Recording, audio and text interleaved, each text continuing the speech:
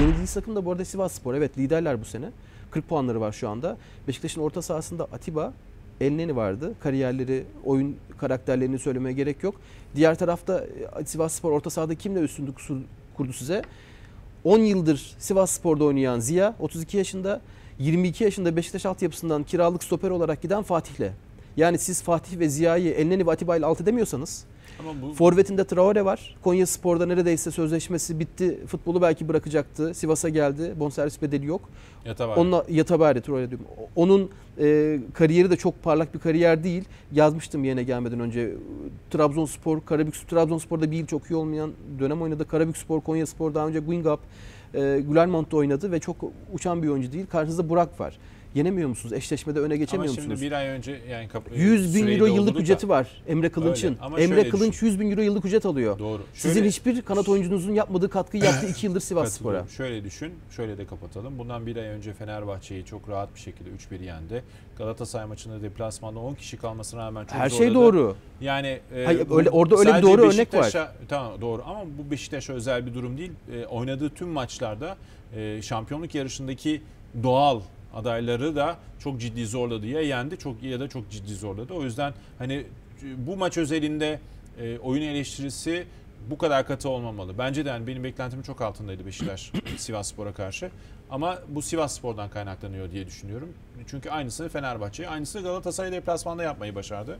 Yenemese de Menemen Belediyespor'dan gelen Mert Hakan, Ümraniye Spor'dan gelen stoper, öyle. Apindan Goye gibi oyuncuların bir arada oluşturduğu takım ve Rıza Hoca'nın ortaya koyduğu durum ve bir tarafta Beşiktaş'ın yüksek maliyetlerle hala ortaya koyamadığı 10 12 milyon euro. Bu arada tüm operasyonu bir yıllık Sivas Spor'un. Biliyorum sıfır lira harcadılar bir de. Evet sıfır bonservis ki hem geçen sezon hem bu sezon ve 10-12 milyon euroya e, tüm ligi deplasman masrafları, personel masrafları, futbolcu maaşları dahil en yüksek oyuncuyu da Kone alıyor.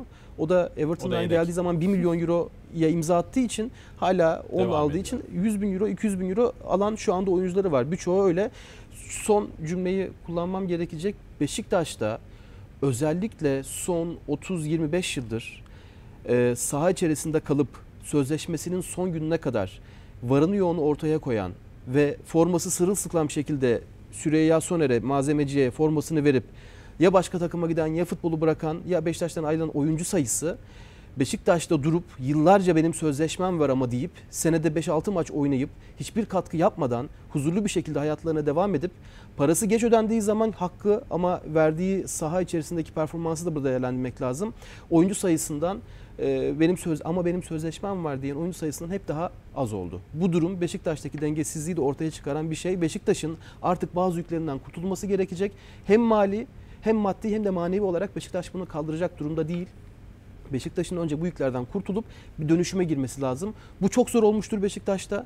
Bazı oyunculardan kopmak, bazı oyuncuları dönüştürmek çok zor olmuştur ama artık geldiğiniz nokta bu. Buna karar verecek yönetim. E, oyuncuların ben o şehre gitmem, ben burada gitmem, ben burada yapmak isterim, ben şu takımda oynarım, ben burada oynarım. E o zaman bunların artık karşısında durabilecek bir dirayet göstermesi lazım. Çünkü iş işten geçiyor. İkinci yıl, bu üçüncü yıl olacak şampiyon olamazsa Beşiktaş. Beşiktaş 3 yıl, 4 yıl üst üste şampiyon olmamaya alıştığı dönemleri artık geride bırakmış olmasını düşünüyoruz. Öyle düşünüyordu en azından taraftarı. Bunların önüne geçmesi lazım yönetimin.